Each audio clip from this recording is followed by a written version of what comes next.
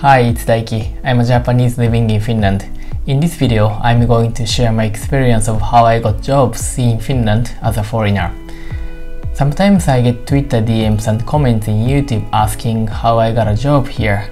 In Finland, finding a job can be a challenging part, especially among younger generations and foreigners. It feels like many people are interested in this topic, so I decided to make a video about it. Before we start, I have to highlight that the situation of job hunting highly depends on your education, industry, profession, and skills. What I'm sharing here is based on my personal experience and my background, so please note that I'm not representing every foreigner living in Finland, and I'm sure you will also have different insights and opinion, especially if you have different backgrounds from mine. So let me start by briefly telling you my background. I studied business in Japan and did my exchange in Vancouver, Canada for one year. After that, I worked for a semiconductor company as a sales rep, three and a half years in Japan.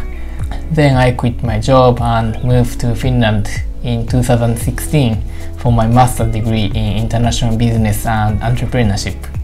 Regarding my language proficiency, I speak English and Japanese and my Finnish is intermediate level.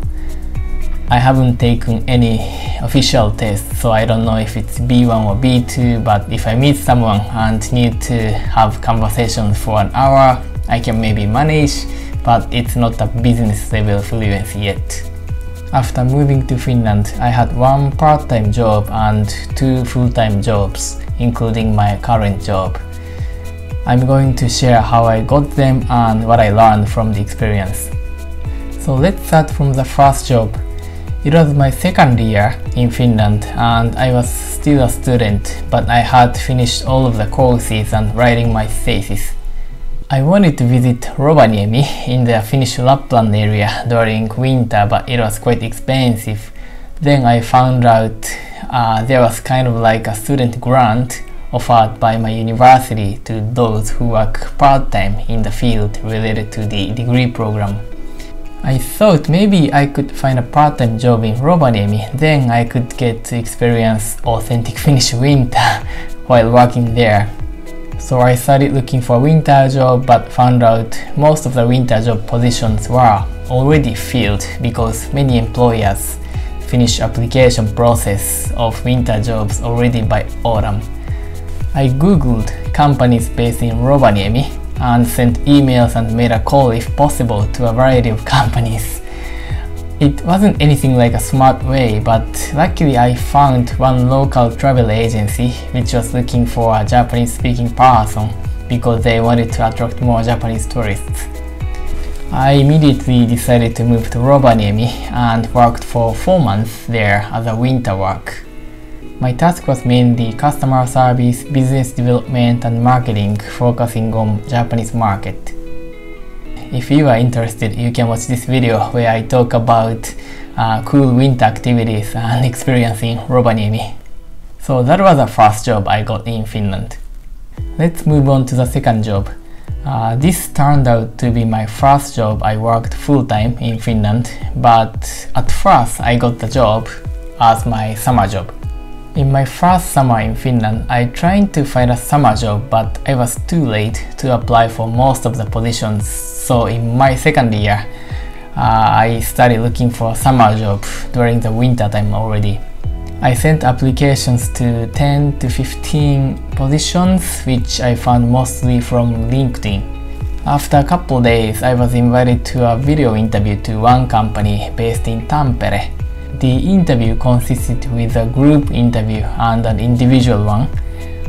I wanted to get a sales development position from the fast growing company, so before the interview, I used quite much time to prepare for it.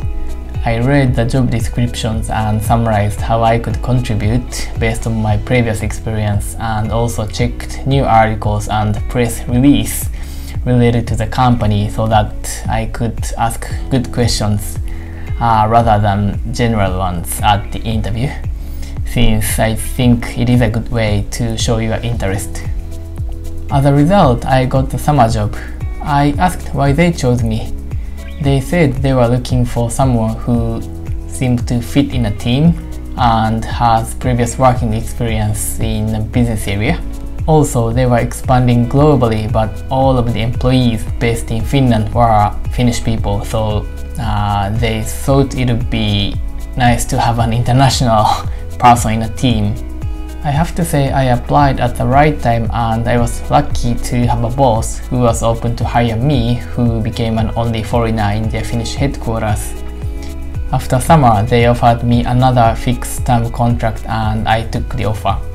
I liked working for the company, but at the same time I was interested in moving and working in the capital area, Helsinki.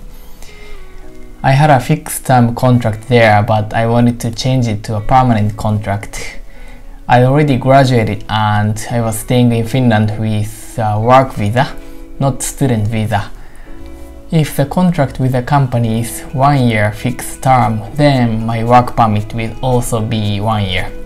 But if you get a permanent contract, then you will get four year residence permit.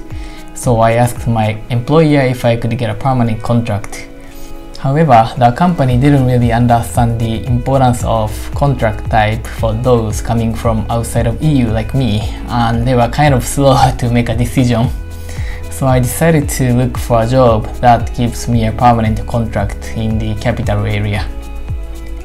I used several different websites to look for a job, such as LinkedIn, Glassdoor, The Hub, and so on.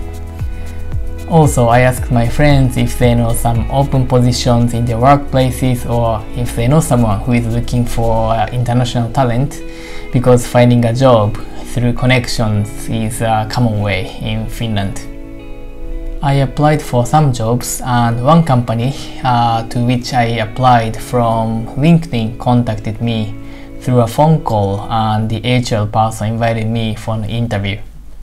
My skill didn't meet all of the requirements written in the job description, but anyway I started uh, preparing for the interview. Before the interview, I at least summarized market situations, the company's financial performance, how the job description suits my skills and previous experience, how I could contribute and influence the team and the company, and recent news related to the company. After the interview, apparently the company called my former boss in the previous workplace to ask her about me since I put her contact info as my uh, reference. After a couple days, I got the job. They told me there were other candidates who had longer experience and know more about the industry than I do, uh, but they focused more on the potentiality and if the person fits the team. So I was not the most qualified person, but the interviewers thought I would go well with the team. That's how I got my current job and I have to say it was also about the luck and the timing. Based on those experiences, I learned that there are common challenges in the Finnish job market, especially among foreigners. Uh, let's see what kind of challenges uh, people tend to face and what would be possible strategies to overcome the obstacles. The first challenge is even many trainee or internship positions require previous work experience. This is tricky because people want to get those positions as a first step of their career. But if many companies require previous experience even for entry level positions, how can you then get a first job? It can be a first blockage. I also realized some employers value previous experience in Finland in this way, getting a first job could lead to another opportunity or career progression, so it's really important.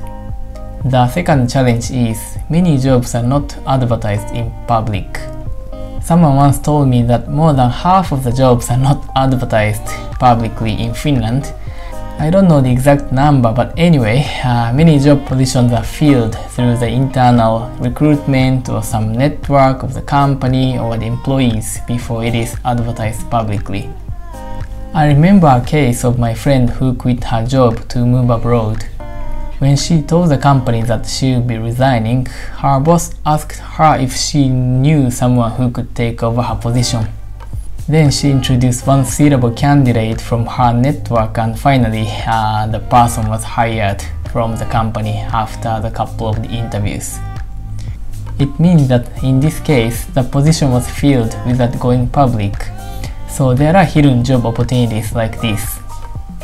Usually if you are new in Finland or don't have much experience yet, then you are likely to know less people so it makes it more challenging to access the job positions that are not in public.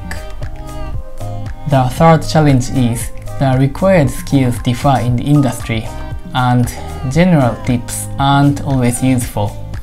For instance, when I started my degree in Finland, there was an orientation session at the university.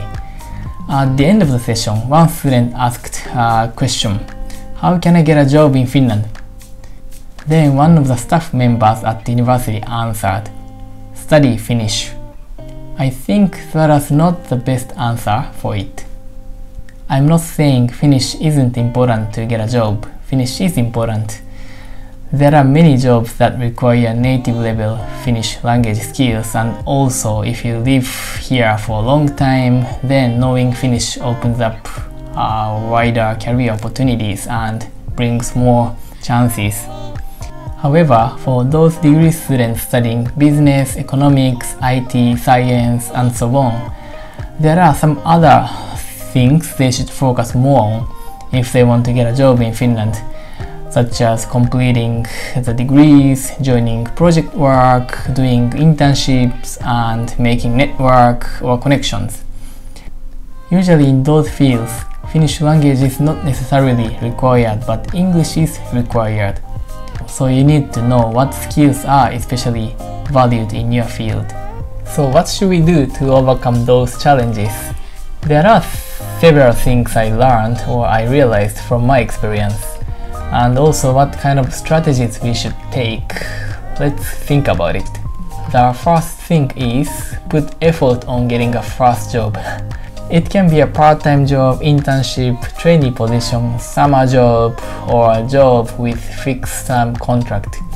As I said, uh, in Finland many positions require previous experience, so getting a first job means a lot. If you are a student, the most common job you get would be a summer job. If you want to find a summer job, uh, one thing you have to know is that many summer job positions open during winter or early spring, so it's better to start checking the job market as early as possible. In case you are not sure where to check, I can list some platforms in the description. The second one is network is really important. Someone even told me that it's not what you know, but who you know. In order to find out how people actually find a job in Finland, I once asked my Twitter followers who work in Finland like this. The result was interesting. It shows that more than 35% of the people found a first job through their own connections or network. One could say that the fact that having connections or knowing right people means a lot is not fair. However, if you think about it from the employer's point of view, it's obvious that hiring someone from their own network can be an effective and low-cost way. Anyway, we need to get a grip on this reality, so we definitely shouldn't ignore the power of connections to find a job. So based on this fact, it seems logical to try to find a job through connections or your own network. In other words, one could try to be known by people in the market. It can be your friend, acquaintance, someone you get to know through events or project work at school.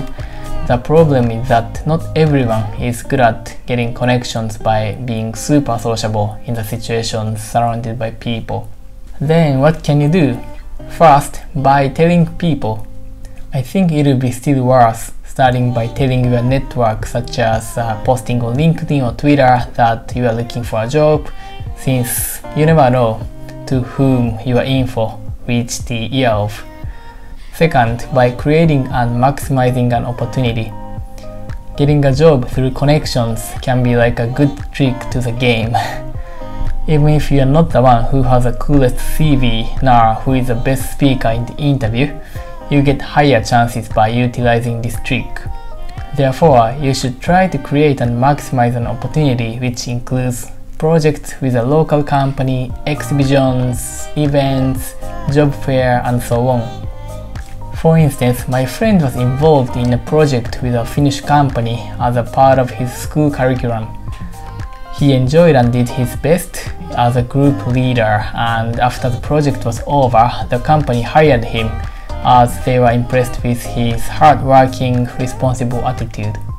So as I said, having connections is important, but we can't ignore the fact that still quite many people, around 30% in this poll, got a job from public job posts such as LinkedIn. Let's see a couple of comments kindly given by some people. One person says, I kept calling companies and asking if they needed a worker in my professional area. That was almost six years ago, still working in the same job so he managed to move a step ahead from others by taking an action-oriented approach. One common way among people who succeeded in getting a job is contacting the company by calling, not only emailing, even if the company didn't have a public recruitment ongoing. I know some people who actually succeeded by that way. Someone I know who is working as a sales manager in Finland says if he needs to choose one from some candidates with similar experience, then he would probably choose one who directly calls him to inquire over others who email him. So last but not least, it's important to find out areas where Finland is lacking talents. I know it's nice to study things you like, but if your top priority is getting a job in Finland, then you should focus on some specific areas. I'm not gonna go deep into this topic, but for instance, IT is one of sought after professions in Finland. Okay, I just can't simplify IT because uh, it can be categorized into a variety of types. But anyway, that's something you could easily find out you'd find some specific professions much more often than others in some recruiting websites or if you check young innovative companies or fast-growing companies from Finland you should be able to find what kind of talents they are looking for. If you haven't chosen what to study and in which field you want to get a job in Finland, this would be something you can do. So that's all for today. I will be glad if you find this video useful. If you have any questions or comments, don't hesitate to write in the comment section. Thank you for watching and see you in my next video. Moi moi!